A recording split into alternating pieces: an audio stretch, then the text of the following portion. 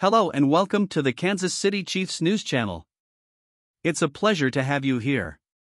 Please make sure to subscribe to the channel to stay up to date with everything happening in Chiefs, our beloved club.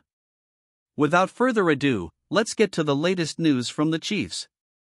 The league has officially announced compensatory draft picks for the 2023 NFL Draft. The Kansas City Chiefs played the compensatory pick formula well during the past offseason, earning three picks in the upcoming draft.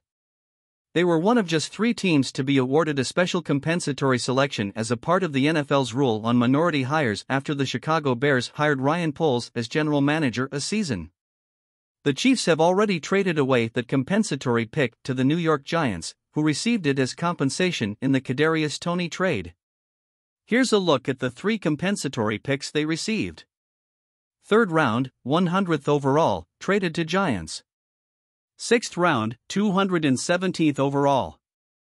Seventh round, 250th overall. This is technically one less compensatory selection than was projected for the Chiefs.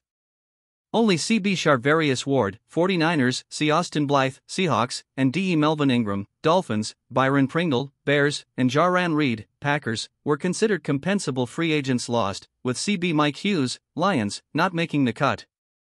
The signings of S. Justin Reid, W.R. Marquez Valdes Scantling, and W.R. Juju Smith Schuster canceled out three of the compensable free agents lost by the Chiefs.